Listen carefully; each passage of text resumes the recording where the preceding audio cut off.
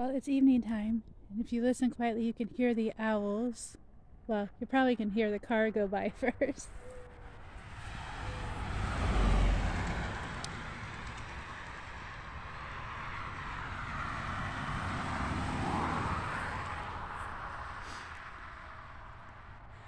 I've been working. I'll just walk you over here. Everybody wants to drive when I'm recording, right? I've been working on like setting up some decorations over here in the orchard. There's a chair there. I'm gonna get my camera out and do a full orchard tour, but you can kind of see what I've been working on. There's the owl. My daughter and I named it the Christy Owl because we used to watch the movie Christy in the beginning of the show. It would have an owl. I believe they're great horned owls. We have three of them. You can faintly hear it. But what I wanted to show you was something I'm working on in the front of my house. I'm not going to turn my camera around because this lady is hot and sweaty and it probably don't look that good. So I am going to show you this. So this has been like, you know the story in the Bible where there's a thorn in the side. And this has been my thorn in my side for the last few years. I actually saw on facebook four years ago i redid it and it looked really nice.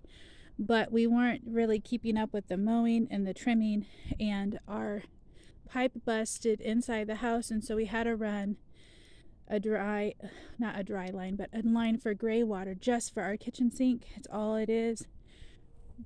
But we just fixed it you hear the owls.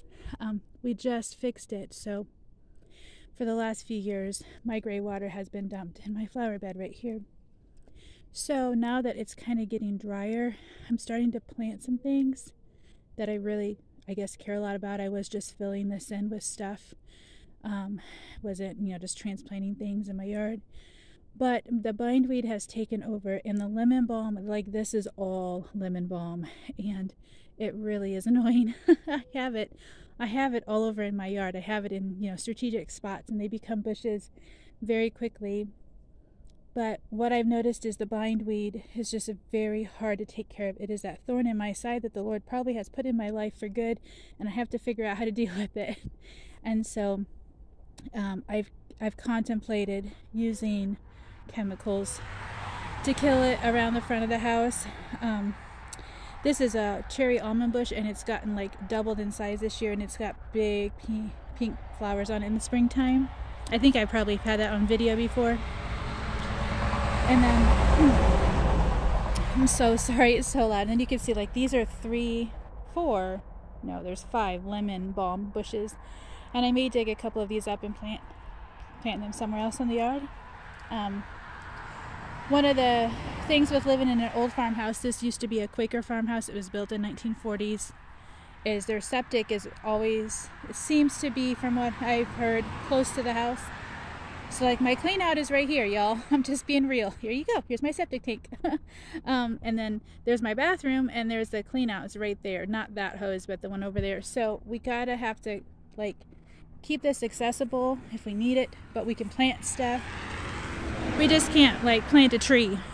And so, um, anyway, I have determined to make this look nicer. And if I have to resort to chemicals to kill all the bindweed, um, which I'm trying one more organic spray, then I want to plant stuff up here that I'm not going to be harvesting from. It's not going to be used for any, you know, consumption of anything, but that I can easily maintain it. So I laid plastic down, and the one thing I did realize is like almost a foot and a half from the house, it's concrete. so the slab of the house is basically right there. I can't put anything in the ground, so I'm kind of using bricks to kind of lay there, just to kill the weeds, hopefully. Um, the, my son got me that butterfly bush last year for Mother's Day, and this year for Mother's Day, he got me a rose of Sharon that I actually dug up and transplanted somewhere else because I felt like it was dying over here. And then I have a peonies here that is really struggling. And I have a peonies here that is really struggling. So I'm going to see if I can get them alive and kind of maybe just you know, maintain this better. But I had scored these plants at our local farm store. Um, they were 75% off, already marked down on clearance prices. So I got these hostas for $1.25. I got the boxwood, which I've always wanted a boxwood, for a couple bucks. And then I think the wine rose bush was three or four dollars, and I got two of them. So I've kind of laid them out a bush there and a hosta and a boxwood and kind of done this little pattern. I have one big hosta that I'm digging up that's in front of one of my chicken coops that's going to go right here in the corner. And then I would love to have like, I don't know, a huge lilac bush or something here. And then don't even, just, just don't pay attention to the, you know, flowers behind the curtain. I mean, like on the front of the house over here. uh, this is going to be next year's project. I feel like every three or four years I have to start over because the bindweed just gets so bad. But I kind of have a system there's a lot of bee balm and echinacea and Queen Anne's lace in here, and I just try and go through and take the big weeds out, but it's really wild. So, yeah, just don't mind that. Um, but anyway, this is going to be what I'm going to try and finish up tomorrow is dig these plants down. And then I have five bags of mulch and I'm to lay mulch on top this plastic in hopes that it'll kind of keep the plastic down and kill some of the weeds below and even if I dig a hole to plant these I'm gonna try and be very careful with pins and kind of close it in um, it's just one of those things you know I feel like try to be a good steward in everything right and then you just want to look up to the heavens and say Lord why did you create bindweed why did you create all these things? I also had found a big patch of poison sumac right there and poison ivy along the house so like obviously that has got to go.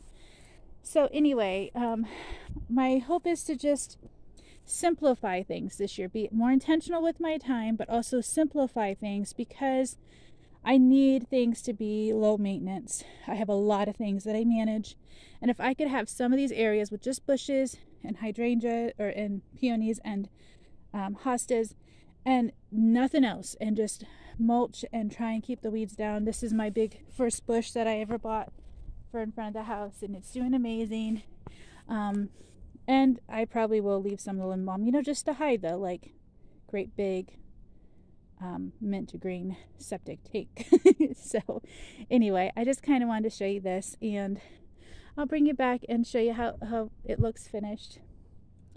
Um, I am going to upload my next video is hopefully going to be the winners of the giveaway. So, if you haven't commented on any of my videos, comment for every comment that you've commented, your name's going to be in the drawing. So if you've commented on five videos, you get five entries.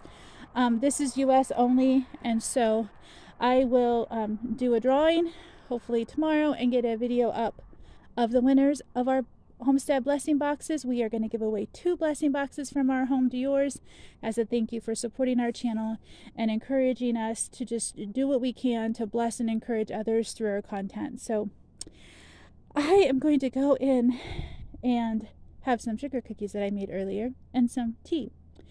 Um, so, till next time, friends, I hope that you have a wonderful week and I will talk to you later.